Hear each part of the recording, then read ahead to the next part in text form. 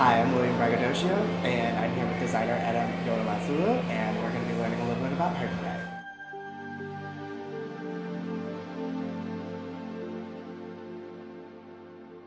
So why don't you tell us a little bit about Clem's Revenge? Um, Clem's Revenge was my senior thesis. It was about the passing of my grandfather. I feel that his funeral did not give him justice for who he was because he was very happy and like a very bright person. Always gave a positive energy to our household.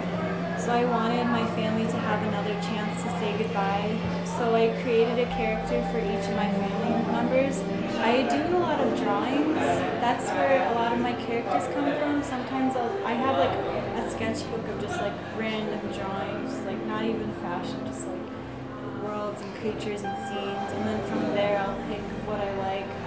What I did was gather all these characters around for the runway show and we all just danced like crazy, and I think that's the perfect send off he could have had. Oh yeah, that's beautiful. so then, how does that reflect into your newest creation, which is the tent that you had?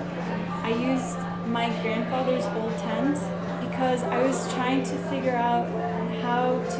not feel lonely without the physical person being there. And when I'm in that tent, I feel like he's around me and I feel very comfortable and safe. And I wanted to create a character kind of to cover that tent. You're like crawling into this creature and like surrounded by it and you're like sitting in its stomach or womb and you're just like nuzzled in it and you're like happy. My family uses a lot of dark humor to get over things because um, we believe like if you can accept things are bad and make fun of it, it's easier to get over don't take life too seriously, just serious enough to get by. Um, so I think that's where my humor comes a lot with it, it's how I view fashion. I don't want to view it that seriously, and I just want to make people laugh and enjoy what they're seeing instead of being intimidated what they're seeing on like a size 2 model.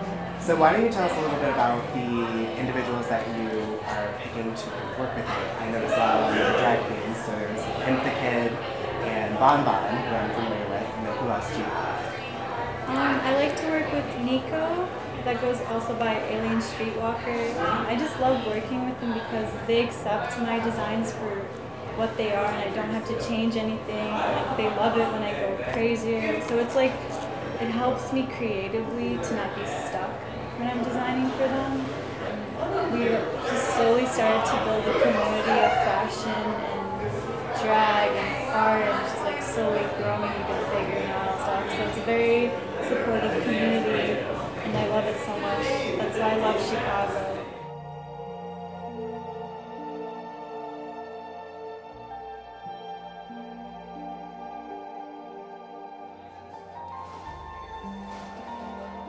Thank you so much for sharing your time with us. It was absolutely amazing talking to you.